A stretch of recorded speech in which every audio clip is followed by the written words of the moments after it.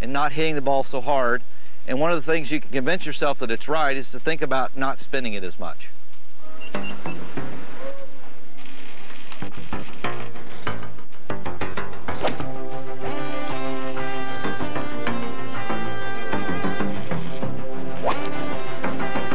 This is Playing Lessons from the Pros, Managing Your Game. Presented by the ACE Group.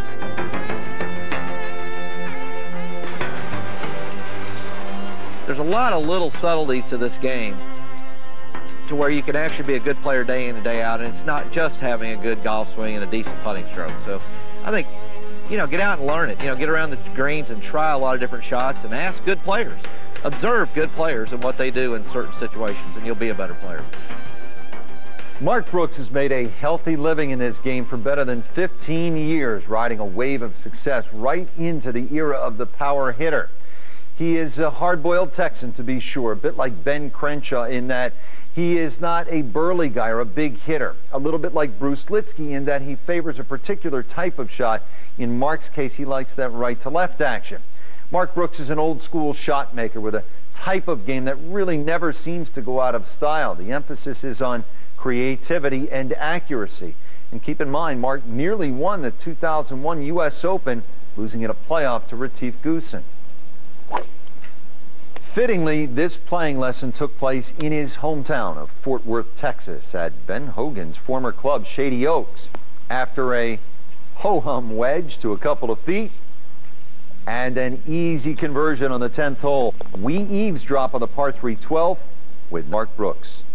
Well, it's just a beautiful par 3, and actually they left you a place to bounce the ball in if you need to. If it's really blowing hard downwind, you know, you could, there's times I've hit four and five irons here, you know, from 230, and, you know, played it kind of at that right bunker try, and hit a hook in there and let it run on the green.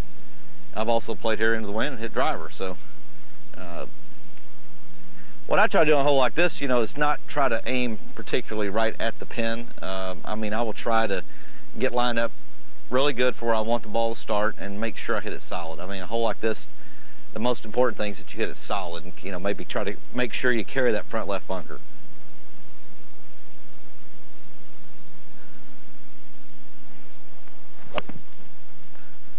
Generally what I did. Now if it carries the front, it'll be good and it didn't. Needed about four more steps and it would have been perfect. I'm by no means one of the best putters. I mean, I'm a good putter, occasionally streaky, but uh, you, you kind of know which putts you, you know, maybe you're not putting as well, right to left, left to right.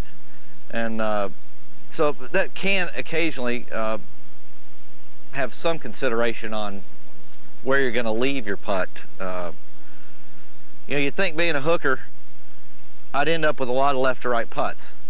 And it's kind of, you know, that part is fairly true. You end up missing the pin left of the pin a lot, you know, 10 feet, 20 feet, and most greens slope back to front. So if you're left of the hole on a regular old traditional green, you're, you're going to have a lot of left righters. Um, but one, one of the things I try to do on, on reading putts, I guess actually I, will go back to Ben Crenshaw gave me a great tip at Augusta probably 12 years ago or 15 years ago when I first played there. And he said to make sure that you make your mistakes on the high side, meaning, you know, right to left putt. If I'm going to miss misread the putt or make a mistake, he's talking about when the ball's rolling. Play too much break opposed to playing too little break. And one of the reasons he would say that is you can be a little more aggressive on a higher line. You start a little more up the slope. And if you've misread a putt, especially just like this one right here, if I read, let's say, a foot not enough break or two feet not enough break, hit it a little too hard, all of a sudden I've got the thing kind of racing down the line. So a lot of times it's not just because the guy's, you know, it, the putter went off in his hands. He might have misread it and he pulled it a little bit, and next thing you know, the thing's racing down the hill. So great example. One of the things I'll do is I'll try to look and I try to look and see what is obviously not enough break. And in this case, you know, a couple feet's not even close. You can just kind of picture it running. If you played it, you know, a couple feet out, you can see that thing's going to end up 10 feet below the hole. So I'll start looking up till I can find the highest place that I want to start the ball. And I do, I do sort of spot putt. Uh, I'll kind of look, I'll try to find something to get the ball to roll past. Uh, in this case, you know, I see a piece of grass up there that's 12 feet above the hole probably, maybe more. And I'll try to let the ball finish just under that, which is about my start line. So it's kind of hard to believe this putt would break that much, even though it probably won't. And try to get the speed. And went just under the piece of grass. So I probably overread that a little bit, but it's certainly not racing away. Now if you stood down there, which is a great example, if I can find where I was standing here, probably about right there. And that ball is really almost exactly behind the hole. This is another one of the many lessons we've gotten. And I looked at that piece of grass from the tee and did a line extended to the hole.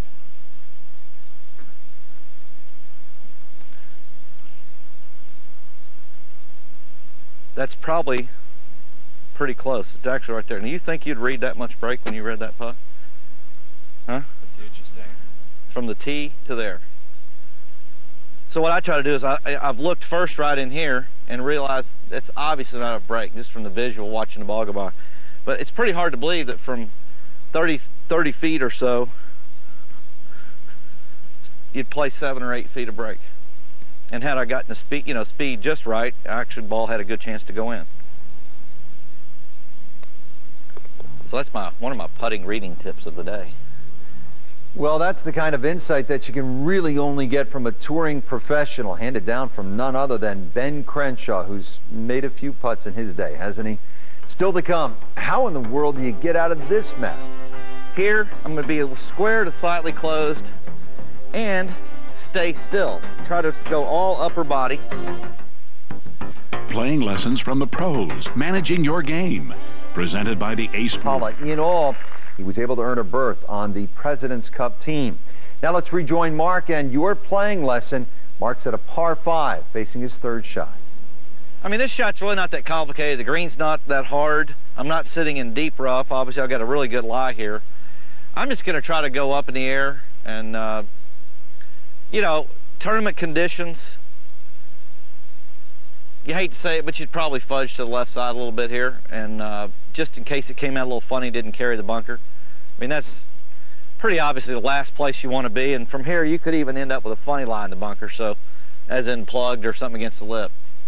So we've got about 50 yards. So that's kind of what the rehearsal's for and to see what the grass feels like. But of course here, now that ball's sitting halfway up. I'm going to try to not get too deep on it, meaning too steep and under it. That's when you get the one that bloops. So I'm going to try to stay nice and level here and try to do about a 48 yard pitch in the bunker. That's exactly what you don't want to do right there. Oh, a little bit of a deceleration. That was a little bit decelled, meaning I uh, just not aggressive enough through the shot. So, but I, the problem is that's the power of suggestion. I just talked about that, I pictured it, and then my body did it. So, again, more reasons for not having negative thoughts. That's a, almost exactly what you'd picture not wanting to do. So, I wouldn't really think about that much. And I, I guess it brings me to another tip. Yeah. Shots like this, even shorter, 20 yard, 30 yard. One of the great things to aim at is the top of the flag. Picture a basket on top of the flag or a you know basketball hoop or something. If you try, that's a good place to aim. Even if you're around the green playing the flop shots, if being short is going to be bad, pick something that's, you know, you always say, well, pick past the hole. No, I like to think about dropping it right straight down on top of the flag. And will you do it? Not very often, but at least it's a great visual. And if I miss, maybe I'll miss a little long it gets your vision up too, away from the trouble. And I didn't hit it hard enough again, but it worked out. So that's a good good target, I think, on a lot of shots. Real tough bunker shot or real tough flop shot out of the rough. Pick something up high, and maybe the top of the flag is a great place to aim. It's just not a very athletic or good position. It's probably not even good for your back to be in this position and try to make a hard swing. So the better way is by widening. Occasionally you might have to widen and bend over, but at least you got a better stable base. So on this buried lie, and you got to decide, I'm obviously, I'm not going to hit the ball first here, like you don't in a regular bunker shot. So I'm going to try to look probably somewhere right around there, which is probably about three inches behind the ball. I'm going to try to keep this club face square to almost closed because I want it to dig in and get underneath the golf ball. Obviously, I'm not going to spin it. I don't have high expectations on this shot, more than getting just out of the bunker. But the main thing is to get out. The main thing is to not bury it worse than it is. So the reason I'm closing that club face is so it's got a little more dig. And if anybody looks at their wedge, if you close it, you've got a sharper cutting edge here than if you open it. If you open it up, it's much more dull and will tend to bounce up. That's when you'll hit a very ugly shot. So that's not going to work very well in this case. Here, I'm going to be square to slightly closed and stay still. Try to go all upper body. And I'm going to enter pretty firm here and several inches behind it. So I'm not looking at the golf ball. I'm trying to look back in here. So I'm not going to cover that spot up I'm trying to hit. And it came out, and if I get a kick, not bad. But it came out very easily from a, a very buried lie, and that's because it was able to cut underneath. Chance to save.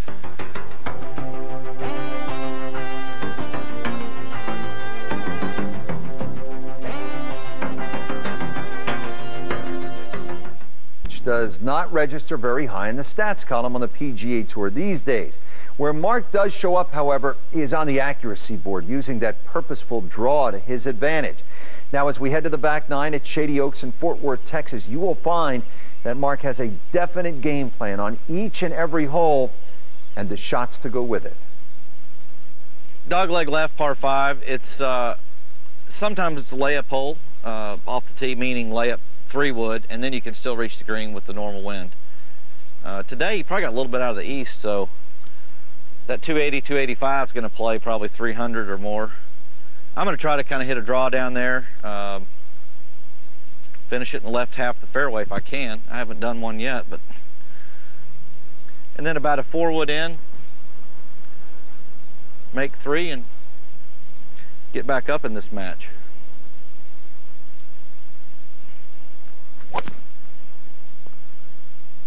Turnover a little more. More in the middle. All right. I'm going to try to chase a three wood on. Chase golf lingo means low running shot. Even though it's wet, if it's low enough, it should still skid.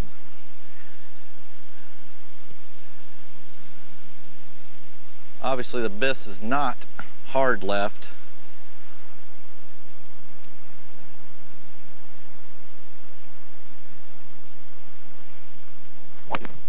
Play a little draw. That's the first one I've hit today I talked about hitting.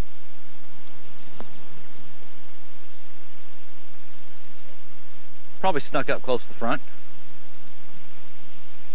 Should be an easy four.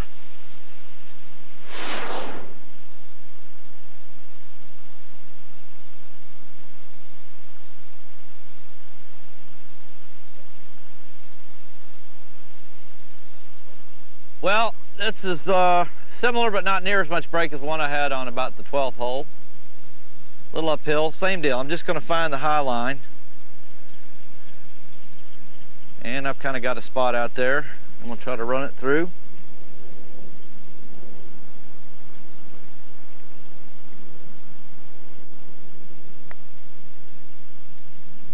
Might be a little too hard for that line. Easy four though.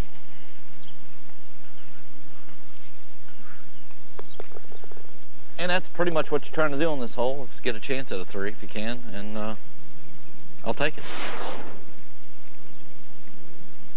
Uh, this putter's probably all, just under 37 inches, and I, I just did it, uh, well actually I did it probably four or five years ago. I went to a little bit longer putter, and maybe maybe eight years ago. Uh, and I did it because I wanted a little more weight. You know, I wanted the putter to be a little bit heavier.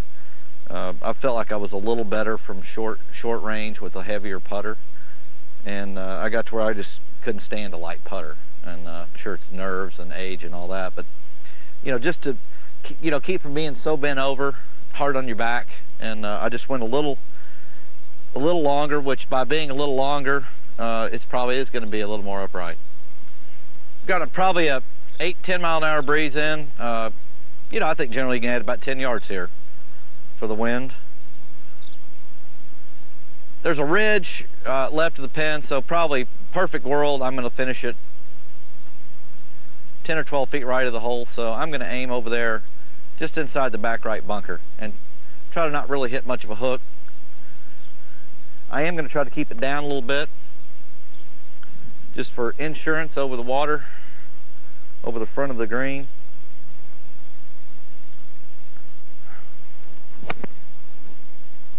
And I probably overturned it a hair. Stay right. This would probably give me a good spot for a tip. Okay. We don't have much wind, but there's a little bit of breeze here. Probably just enough to, to start having to play a little bit of the breeze, a little bit of the wind you know, anything that's about five miles an hour under, you don't need to play, don't need to worry about too much. It's not going to really take you from a eight iron to a seven iron per se, uh, maybe unless you're really, really, you know, high ball hitter. But when you're trying to hit a knockdown shot, which is what I'm trying to trying to hit here, and people talk about it a lot. One of the things I do, especially being someone that draws the ball, when you move the ball back in your stance, which is one of the things that you, you know probably should do to get the trajectory down is that by being in, swinging from the inside, the more I have this ball back in, the, in my stance, the earlier I'm going to hit it in the downswing, which means I'm going to hit it, have a tendency to hit it even more from the inside. And by trying to hit it low, there's a good chance that I'll hit it too much from the inside and have too closed a club face at impact. And that's when you hit the low shot you kind of want, but it way overhooks. So trying to figure out you know ways to combat that hook and not overhook when you're trying to hit a knockdown, I definitely agree with moving the ball back in your stance. And obviously the shorter the club, meaning the more loft it has, the more back I'll move it. But this would be a, a seven iron in this particular case. I'm going to definitely play this ball right of my sternum or try to get it right of the center. And now really the big trick, besides moving the ball back, is to try to get a little closer to the ball. I'll try to move in a couple of inches closer to the ball. Instead of being, let's say this is normal right here, and my left foot was, you know, we'll mark a spot here, I'm going to actually move in a couple inches. And I'm going to be in here closer. And what this does is allows my swing to be a little more down the line and a little bit less, have a little less tendency to be too much from the inside. The only thing you have to watch is being too steep. So you still do a lot of the same things, but I've moved in closer. I've kept the ball back. I'm not going to swing 110%. And it does help seem to take some of the hook out. That ball drew just a little tiny bit. Still swung, ball was still, the club head still moved from the inside out, but not as, not as dramatically. And then the last thing on playing into the wind I'll give you is when you're playing into the wind, I like to think about being soft and not hitting the ball so hard and one of the things you can convince yourself that it's right is to think about not spinning it as much. So when you're into the wind, take more club and swing a little softer. Try to be a little softer, a little less spin. Ball will penetrate the wind better. Conversely, downwind, you're in between clubs. Generally, you might be better off taking the shorter club and hitting it harder, try to get a little more spin on it and carry with the wind. So that's kind of my tip for the wind. Same deal here. I kind of have a line a couple feet in front of me.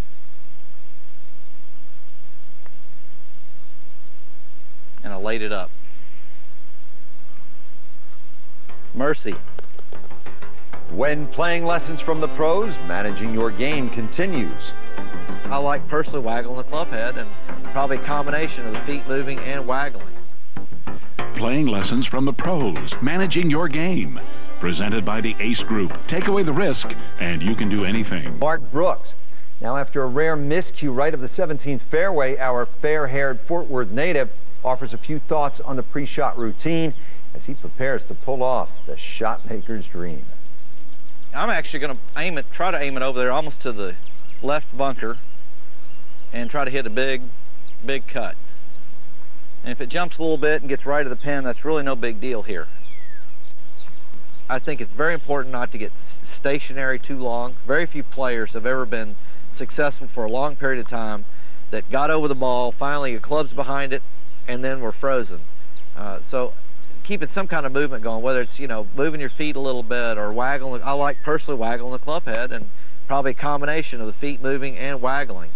Uh, so when you're working on a waggle or something that will help you start the swing, it should be a mini rehearsal of this takeaway or some thought of a kind of impact position. And if you'll do that on the right pace and the right tempo, it will help your whole swing have a better tempo.